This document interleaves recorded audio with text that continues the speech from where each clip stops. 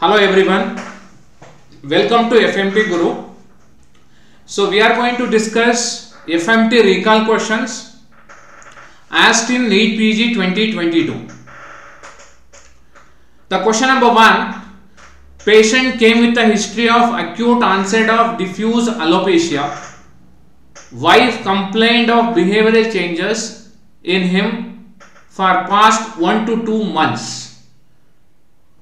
Doctor looked at nail, made the diagnosis. The heavy metal poisoning is options are thallium poison, arsenic poison, mercury poison, and lead poison. We discussed many times in our classes heavy metal poison is very very commonly asked in your exam. Like arsenic was asked in last INI CET exam, two questions were there okay so now this question you can see here there is a diffuse alopecia. And and also there is a presence of Aldrich Mees line. And also there is a behavioral changes. So this is the classical triad of thallium poison. Mees line also can be seen in arsenic. But look at the question this question is framed from the standard textbook KSN Reddy 35th edition page number 415. It is clearly given diffuse alopecia the, uh, uh, the and also Mees line and also there are some uh, personality or behavior changes go in favor of thallium. It is not arsenic, it is not mercury, it is not lead. So very commonly asked topic. Let's see how this thallium. So what is given in KSN Reddy? Thallium poisoning. It is thallium sulfate. Look at this. This is the thallium sulfate. You can see here thallium sulfate is a colorless, tasteless, odorless compound. You can mix with any food and drink. That's why. So this is one of the ideal homicidal agent. It is also known as poisoner's poison okay? It is used as insecticide. It is used in fireworks metal alloy. It was also used in tuberculosis syphilis gonorrhea. It is a well-known rat poison. We discussed in our classes. The fatal dosage 6 to 40 milligram per kg body weight and the fatal period is 24 to 26 hours. 1 gram in general is the fatal dosage. The mechanism we discussed many times my dear students substitution of potassium adenosine triphosphatase and other enzymes in Krebs cycle and oxidative phosphorylation that leads to all these clinical features. What are the clinical features? There are four important clinical features. One we can see the left side there is a alopecia, alopecia diffuse alopecia, alopecia completed in 30 days. The most common presenting complaint is alopecia. Second, there will be mental confusion with lethargy. Third, we can see the peripheral neuropathy working on hard coal. That is the that is the word given to explain the peripheral neuropathy caused by thallium and and painful ascending polyneuropathy that occurs in 2 to 5 days after the intake of the poison. And very important one is the Mees line. We discussed many times in our classes. Mees line also seen in arsenic it is also seen in thallium. Let's see about the uh, diagnosis and the treatment. The treatment of choice as we discussed many times Prussian blue. 125 mg per kg body weight BD orally. What is that potassium ferric hexa cyanoferrate and the differential diagnosis is Guillain-Barré syndrome and the cause of death is respiratory failure. And there will be signs of asphyxia on post-mortem examination CPC that is present congestion cyanosis and petechial hemorrhages. So this is about the question number one thallium poison. Yes second question. Second question was in the uh, taken from the mechanical injury Identify the mechanical injury given in the picture and the finding is laceration over the fingers and the palmar aspect of the hand. Options are active defense injury, post-mortem artifact, passive defense injury, self-inflicted injury. Remember, self-inflicted injury was the question asked in last INI CET exam. So, but this is not the self-inflicted injury. Remember here, it is seen over the fingers and the palmar aspect of the hand. So the answer must be active defense injury. Okay. So this is active defense injury according to KSN Reddy 35th edition page number 158. Let's discuss only about the defense injury. So what are the defense injuries or defense wounds? Defense wounds are those so they are due to immediate instinctive reaction of the victim to save himself. Okay. Consider a case of attempt to murder or murder. The person tried to uh, escape from the crime scene or he, he will try to protect from the uh, you know uh, assault. In that case, defense wounds are seen. There are two types. One is active and the passive. Active seen when victim grabs the weapon okay this is the active defense injury when victim grabs the weapon. So what are the common site common sites are the palmar aspect of the hand and the fingers. And also the bends of the fingers are the thumb. So that is active. What is passive? And usually this cuts active defense injury they are usually irregular. They are usually ragged. That is according to KSN Reddy passive. Passive when a person try to defend when uh, when he raises the hand like this arm hand leg so there can be bruises there can be abrasion there can be incised wound. So they are known as passive defense wound. The common site of incised wound is extensor or the ulnar surface of the forearm and remember these defense zones, they indicate it is a homicide. They indicate it is a homicide. And one more point remember when the patient is unconscious these defense injuries are absent. So the answer for this question is active defense injuries. You can see here one one more picture that is showing. So this is the active defense injury. So this is the active defense injury. You can see the this is how it looks when person try to uh, you know grab the weapon and this is the passive defense injury. Passive defense injury both. So this is the passive defense injury. So this is question number 2 question number 3 type of hymen given in the image. Options are septate semilunar annular fimbriated. So your answer should be it is septate because you can see the two openings. Whenever you see two openings so in between there is some tissue is there. So this is the septate hymen. According to KSN Reddy 35th edition page number 303 let's see what are the types of hymen. So there are different types of hymen. One is the annular. Annular hymen. See annular means whenever you see central opening annular Crescentic hymen, also known as semilunar. It is also known as semilunar. And remember, this is the most common. So, this is the most common hymen. So, this can be asked in upcoming exam. Most common. Septate hymen, you can see the two openings. Two openings.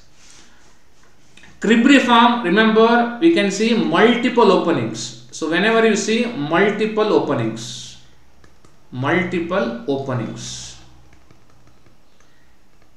okay. And what is fimbriated hymen? Fimbriated hymen, so this is whenever you see notches, so whenever you see notches, so that is known as fimbriated hymen. And remember, fimbriated hymen is mistaken for artificial tear it is mistaken for artificial tear. Artificial tear. Okay? Artificial tear. The most common is crescentic. Two openings septate. Cribriform multiple openings. Fimbriated resemble like artificial tear.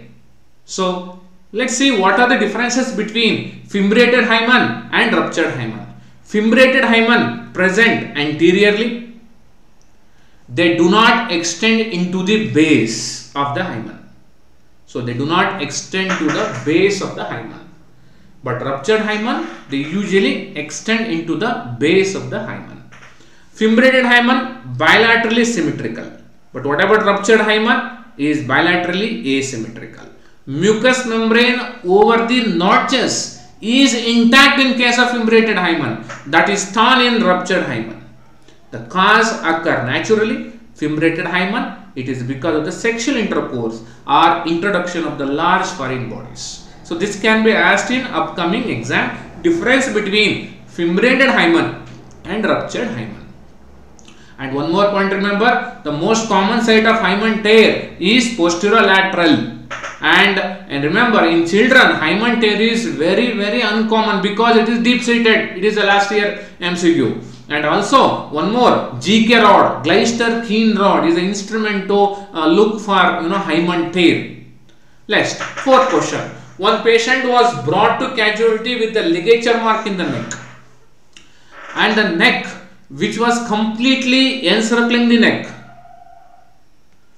It is transverse below the thyroid cartilage and there was absence of dribbling of saliva from the angle of mouth. So what is the diagnosis? Options are manual strangulation, ligature strangulation, antemortem hanging, Bansdola. See antemortem hanging, remember dribbling of saliva present in antemortem hanging. So it is not the answer. Bansdola as you know all of you type of strangulation. So at the elbow bend or knee bend. So that is ruled out here. Either it should be manual strangulation known as throttling or it is ligature strangulation. See, the best answer is B is the correct answer, which is the ligature strangulation. Strangulation by ligature according to KSN Reddy 35th edition, page number 272. Okay, so this is the answer. B is the correct answer. Let's see why not it is hanging. So, what is the difference between hanging and ligature strangulation? Very, very commonly as topic in your exam. Let's discuss only few points. So, look at this. There are two images given in this slide one is the hanging. You can see here, this is the hanging case. So this is the hanging. And this is the ligature strangulation. So this is ligature strangulation. Remember, in case of hanging, the direction is oblique. Direction is oblique. It is incomplete. That is known as non-continuous. It is above the thyroid. And the base is pale, hard, parchment-like. But in case of ligature strangulation, it is transverse, it is continuous, it is at or below the level of thyroid and the base is soft and reddish. So this can be asked in upcoming exam. Please remember difference between hanging and strangulation. Very very commonly asked. So the left side, that upper image, that, that is actually a classical case of hanging and the below that is, that is the case of uh, ligature strangulation. In case of throttling, ligature mark is absent. Instead, there will be six penny bruises. Yes. Leading questions are not allowed. The question is little tricky here. Not allowed in the following except. That means leading question can be asked. So that is the tricky question asked. So dying declaration. Remember in dying declaration, leading questions are not asked. Dying declaration comes under 32 Indian Evidence Act. 32 Indian Evidence Act, leading questions are not asked. And dying declaration and uh, uh, remember oath is also not taken. So answer is not A. Examination in chief, no. Re-examination, no. Answer is cross-examination. So C is the correct answer. Leading question that is yes or no type of question or the question which carries answer in it so that is known as leading question. Leading questions are asked only in the cross examination. Let's see how uh, the exactly the recording of evidence in a court of law that that is very commonly asked. So as we discussed many times, there are five steps. The first one is the oath. The oath comes under which IPC? 51 IPC. Oath is not required in children less than 12 years and refusal to take oath is punishable under 178 IPC. The punishment is 6 months and a fine also given. Second step is usually examination in chief that is known as direct examination. So that comes under uh, section 137 of Indian Evidence Act. Examination in chief is usually done by public prosecutor. Leading questions are not asked but remember, leading question can be asked when the witness is hostile. when the witness is hostile. Leading questions are not allowed or not, uh, not, not allowed usually, but they can be allowed in case of hostile witness. Hostile witness means U-turn witness, one who changes his statement during the recording. Then cross examination comes under 141 to 146 Indian Evidence Act. Cross examination there is no time limit and also leading question can be asked. Leading question means yes or no type of question. Lastly, re-examination 137 to 138 Indian Evidence Act. And last one is the court or the judge questions. So judge can ask question at any time during the evidence recording. So all these are very very commonly asked. The question was asked from the same topic we discussed in our lectures. So yes two year old child came with a history of ingestion of iron tablets. So it's a case of iron poisoning. The patient was having abdominal pain and patient was having diarrhea, patient was having vomiting, cyanosis, hyperventilation, all this is because of acidosis. On examination, patient is in comatose condition. So patient is in the comatose condition, the best treatment is options are activated charcoal, uh, desferrioxamine, British anti-Lewisite penicillamine. So it's a very simple question. Iron poison. Whenever question asked about iron poison, you must your answer should be desferroxamine. Okay, it's a simple answer. BAL, you know, BAL is given in arsenic poison. BAL is used in heavy metal poison, but here desferroxamine is the correct answer. Remember, BAL is contraindicated. BAL is contraindicated in case of iron poison and also in the cadmium poison. I'll just write here iron and cadmium. Iron, cadmium. And also remember it is also contraindicated in organic mercury poison. Organic mercury poison. So we discussed one mnemonic in our classes PICO. The PICO was the mnemonic. PICO was the mnemonic. So PICO, P for peanut allergy, I for iron and C for cadmium, O for organic mercury poison. In four condition, so ball is contraindicated. Mnemonic yaad rakhna, PICO is the mnemonic. Penicillamine, so that is also not the answer. So answer is for this question is KSN Reddy 35th edition, page number 414. Answer is desferroxamine. So let's see what are the important MCQ that can be asked in upcoming exam. So one is fatal dosage 20 to 30 gram. Fatal period 24 to 30 hours. And clinical symptom is classified into four stages. What are the four stages? The stage one is the acute stage where there will be vomiting abdominal pain hemorrhagic gastroenteritis shock acidosis and coma. So this is the stage one. It's very common in, uh, in children's. Okay? And stage 2 remember in stage 2 the patient usually symptom free around 6 to 24 hours he is actually symptom free then stage 3 there will be metabolic acidosis, there will be liver necrosis, jaundice, there can be hypoglycemia because of damage to the pancreas, shock, hepatic and renal failure that occurs in stage 3 and the stage 4 remember it is a stage of complication. So the complications will see gastric stricture, pyloric stenosis and other complications. So there are four important stages. Treatment according to standard textbook gastric lavage, magnesium hydroxide, Desferroxamine 1 gram intramuscularly given followed by 500 milligram fourth hourly for about uh, for two doses. Finally 500 milligram 4 to 12 hourly up to 6 gram per day. So treatment is desferroxamine is the correct answer. And hemodialysis also a treatment option. Exchange transfusion also can be done in severe cases. Postmortem finding hemorrhagic necrosis, perforation of the gastric jejunal wall, liver necrosis, kidney tubular acidosis, all these are seen in the case of iron poison. Let's see. Type of consent during hysterectomy procedure after explaining the nature of disease and proposed treatment and complication of surgery. So here the patient is informed about the treatment, about the complication, about the risk, about the alternative treatment. So it must be informed consent. Correct answer is informed consent according to KSN Reddy, page number 37, 35th edition. Let's see now from the standard textbook KSN Reddy, what is informed consent? Informed consent implies understanding by the patient. Understanding by the patient. One is the nature of his condition, nature of proposed treatment, expectation of the recommended treatment and also the complications, risk, benefit, alternative treatment, all this comes under informed consent. And remember, MCQ can be asked in upcoming exam. So, what are the what what are the exceptions for the informed consent? One is emergency, section 92 IPC. Second, therapeutic privilege. Third, patient when waives his right to some other person. So, these three are the important exceptions of informed consent. Question number 8. A drunk, a drunk doctor after marriage party performed a surgery.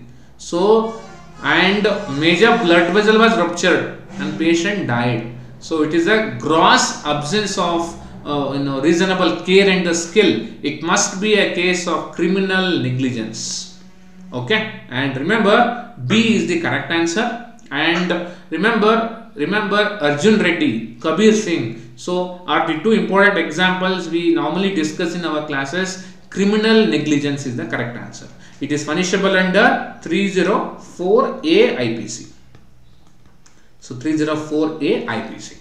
Okay, the punishment will be 2 years of the imprisonment. So 2 years. Okay, let's see some differences between civil and criminal negligence because it is very commonly asked in any exam. So, civil negligence, no specific violation. In case of criminal negligence, clear violation of the law. Like example, the classical scenario that is given in the question that is uh, doing surgery under the influence of alcohol. Simple absence of skill and care. But here it is a gross. Criminal negligence means gross negligence. Consent is not a defense. It is also asked in one of the exam it is actually criminal court trial. Guilt should be proven. Two year imprisonment according to section 304a who is the complainant? The complainant is the state public prosecutor. Who has to prove the innocence? Doctor has to prove his innocence. Doctor has to prove his innocence in case of criminal negligence. In case of civil negligence the burden of proof that lies on the patient. Patient it is. Okay so this is about the differences between civil and criminal. Other two examples, one is the contributor negligence and the corporate negligence. There are four types of negligence. Yes. One newspaper headline you can see, we discussed in our classes, doctor and nurses convicted for medical negligence. Kollam medical case. I hope you remember this discussion in our classes. Identify the range of shot. This is the little controversial question. So options are contact shot, close shot, near shot, distant shot. So you can see here there is an entry wound is there surrounded by tattooing. Whenever you see tattooing, whenever you see tattooing, it must be a case of near shot. Yes, the same image given. If the tattooing is there, then it is a near shot is the correct answer according to standard textbook KSN Reddy page number 170. So what is contact shot? Let's see now. There are four types of ranges in pistols wounds from the revolvers and automatic pistols. Range 1 that is the contact shot. So this is the contact shot. One we can see here this is the contact shot. You can see the uh, stellate shaped wound. Okay. You will see stellate shaped wound. I'll just write here stellate shaped wound. Stellate wound. You will see muzzle imprint. You will see muzzle imprint. Muzzle imprint. Okay so these two are important findings in contact shot. Contact shot over the head, muzzle imprint and the stellate. Okay, yes. Sometimes there can be a back spatter phenomena also, back spatter phenomena. Second one is the close shot. Close shot, so uh, you know close shot whenever in exam question asked you know we discussed blackening is a feature of close shot. So it usually between 5 to 8 centimeter Mnemonic also we discussed in your classes backs. What is B for? B for blackening. So blackening occurs because of blackening occurs because of the that is the soothe particle. A for abrasion collar is the general feature of any entry wound. G for grease collar any feature of you know any any feature that is seen in case of uh, entry wound and S for singeing of the hair. So singeing, blackening, burning all these are the features of the close shot. So yes. Now what is the near shot? The near shot, remember, there is a tattooing that is present. tattooing is caused by tattooing is caused by that is that is deposition of the unburnt gunpowder so the finding here is the tattooing. The finding here is the tattooing. And it is because of what? Unburnt gunpowder unburnt gp unburnt gunpowder you can see entry wound here inverted margin entry wound okay? Unburned gunpowder so that leads to tattooing remember it is usually more than 15 centimeter less than 50 centimeter. According to ksn reddy it is when the range is between 15 to 50 then there is a tattooing that is seen that is a near shot. Near shot. It is taken from the reddy. More than 15 centimeter less than 50 centimeter. It is beyond the range of flame. It is a beyond the range of flame and within the range of powder deposition up to 50 centimeter we discussed many times in our classes near range.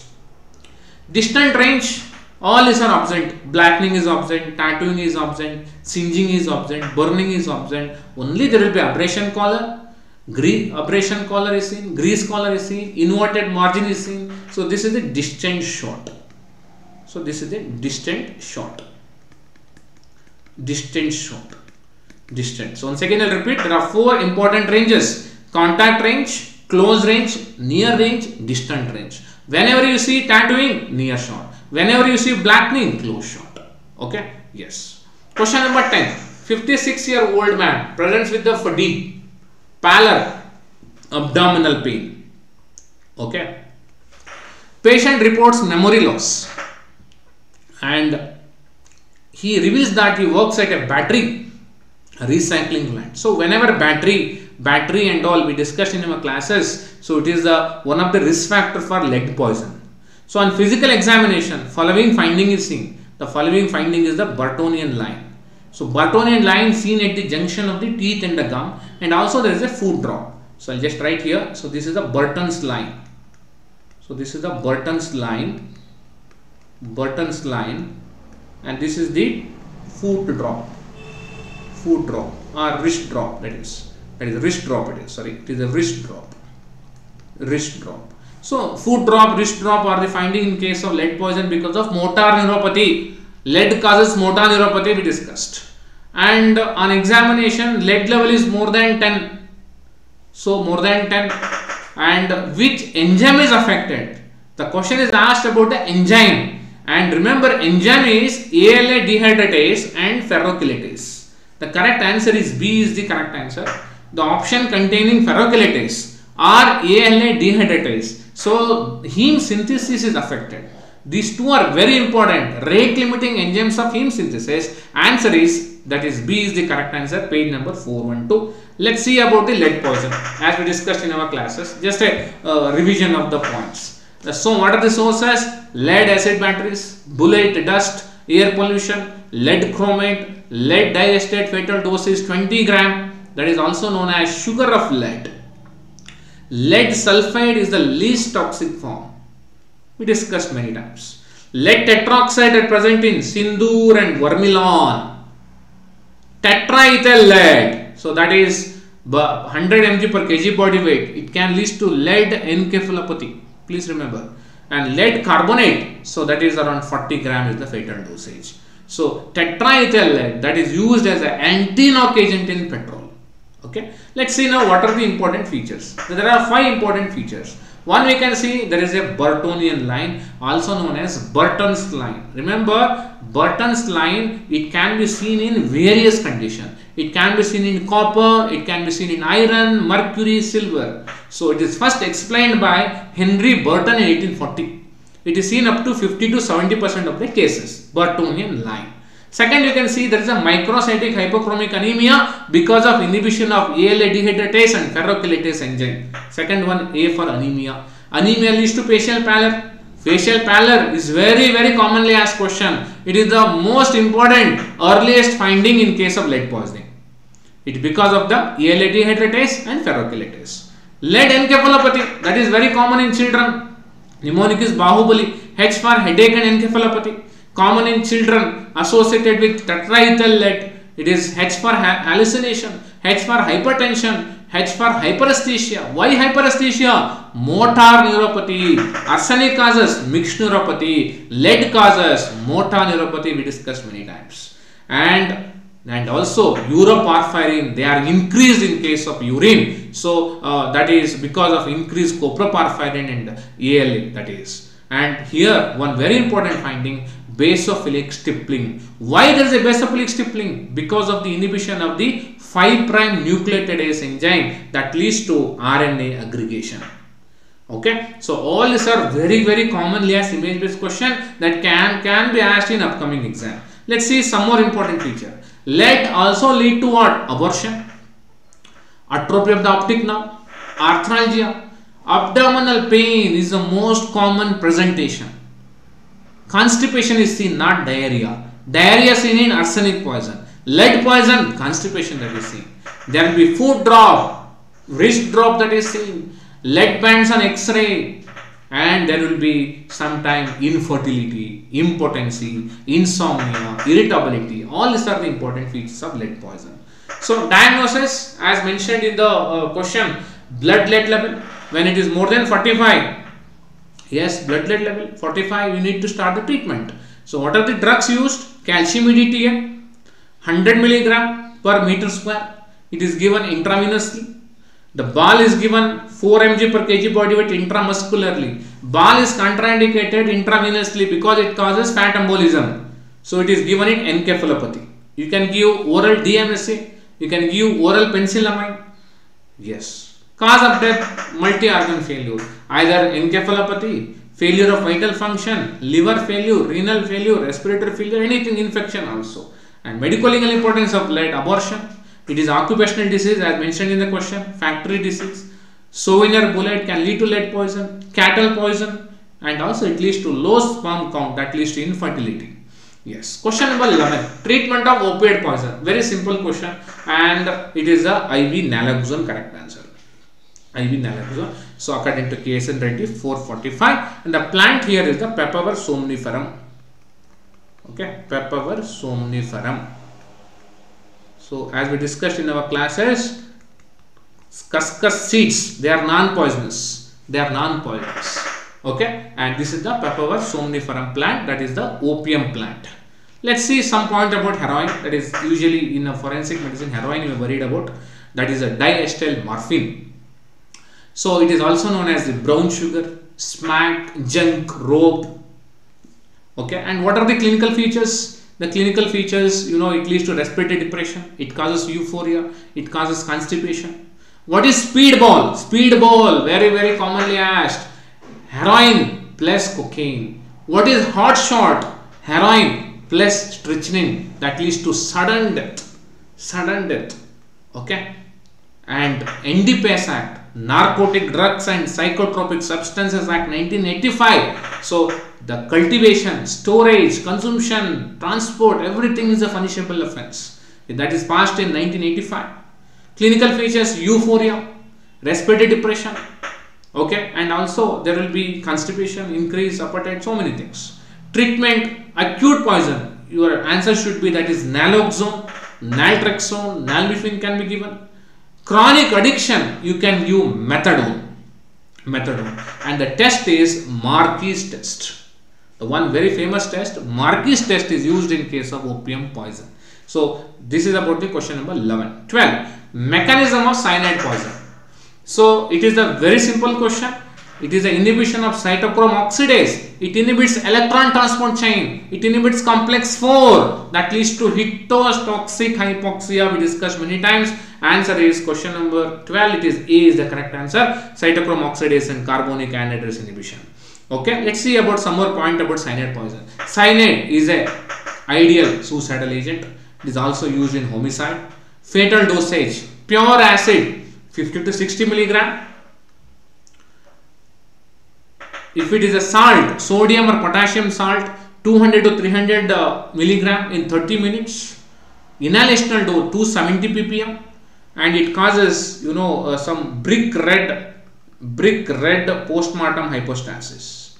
Or you know brick red postmortem hypostasis because of the histotoxic anoxia. Yes. Fatal is 2 to 8 minutes, usually 2 to 8 minutes.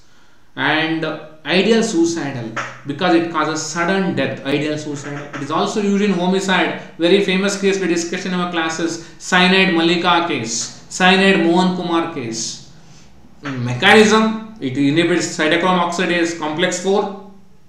Treatment, the drug of choice, sodium nitrate, sodium thiosulfate and also amyl nitrate. I'll just write here treatment can be asked in exams sodium nitrate sodium nitrate sodium nitrate sodium thiosulfate sodium thiosulfate. So both are given intravenously. So these two are given intravenously through the same needle same cannula. And amyl nitrate also can be given amyl nitrate. Amyl nitrate is given that is inhalationally inhalationally and we discussed in our classes sodium nitrate produces methemoglobin the methemoglobin combines with the cyanide forms cyanomethemoglobin that combines with sodium thiosulfate that forms sodium thiocyanate. So that get excreted in the urine. So this is the mechanism. And remember bitter almond smell is very very commonly asked in exam. Cyanide is a very well known asphyxiant like hydrogen sulfide. Lejeune test is a test for the cyanide so this we discussed in classes. One very famous case of murder, cyanide Mallika. Cyanide Mallika is the one who used to mix uh, cyanide with the uh, you know uh, laddus in, in Bangalore. She killed more than 10 people. Okay, yes. Question number 13. Question number 13. Uh, an 8 year old girl brought to emergency room for ingestion of an unknown amount of acetaminophen. It is a paracetamol poison. She had been playing with her parents' medicine cabinet. Her mom later noticed that bottle of acetaminophen was open. So what is the drug of choice? You know all of your paracetamol poison. So we use N-acetylcysteine is the correct answer. A is the correct answer. A is the correct answer. Now I think question was asked about paracetamol poison. Maybe the question framing may be changed in the uh, question number 13. But the question asked about the paracetamol poison. The drug you know very simple. N-acetylcysteine is the correct answer. Yes. Question number 14. Question number 14. So a patient came with a history of flame burn injuries on the front of the left leg. So front of the left leg means 9 percentage. Entire front of the right upper limb. So that is four and half. Front of the yes four and half. Anterior chest 9 that is. So I think answer for this question is around 27. 27 is the correct answer according to rule of 9 it is okay entire upper limb is 9 percentage. Front is 4.5 back is 4.5 and entire lower limb is 18 percentage. So here only the so i think present on the front of the left leg the entire leg that is i'll take it as 9 so yes. So you should know rule of 9 very well. So rule of 9 is given by Hasse. We discussed many times in our classes. Hasse. Head and neck area 9 percentage. Upper limb 9 percentage. Lower limb 18 percentage chest is around 18 percentage abdomen 18 percentage pudendal area 1 percentage. So this rule of 9 is used in adults. In children we use lb formula. Lb formula discussed. Okay lb formula in lb formula let's see. Browder formula for infants head is 18 percentage 18 percentage. Each leg is 13.5 percentage. Trunk and upper limb are the same as adult so for each year above one year, you should minus 0.5 from the each leg. You should add, sorry, you should add 0.5 percentage to the each leg. You should minus 1 percentage from the head, head area till adult values are reached. This is the LB formula. One more rule is the Palmer rule. 1 percentage. Okay, one, one palm is equal to one palm of the patient that is equal to 1 percentage of the surface area. Question number 15 is the last question. A 40 year old hypertensive lady brought to emergency room after being unresponsive following a sudden bout of severe headache.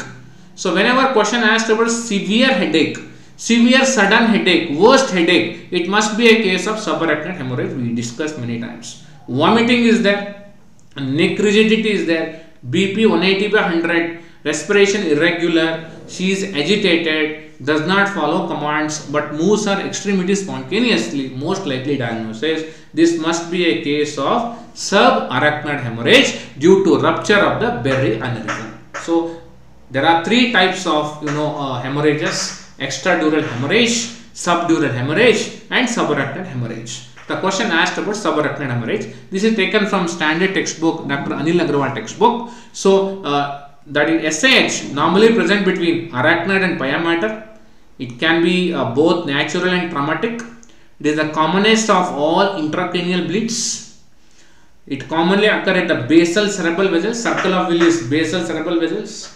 Much more diffuse than SDH much more diffuse. If it is due to rupture of berry aneurysm, it is normally present only on the base. So there is a uh, congestion also resemble like subarachnoid hemorrhage.